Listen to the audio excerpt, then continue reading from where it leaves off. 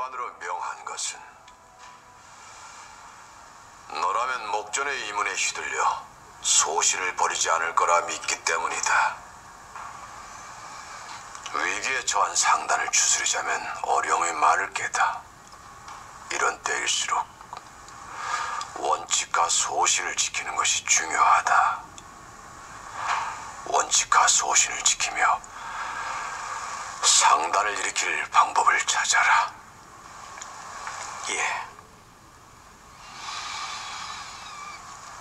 내 너에게 나의 성을 주고 새로운 이름을 줄 것이다.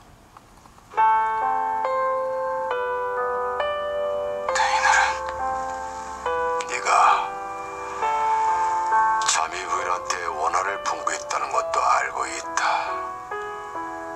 네 아비 또한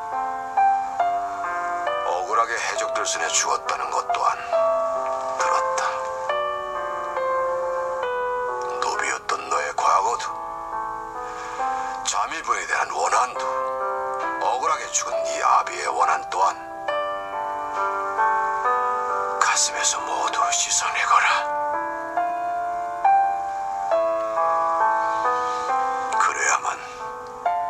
세상을 넓게 볼 수 있다.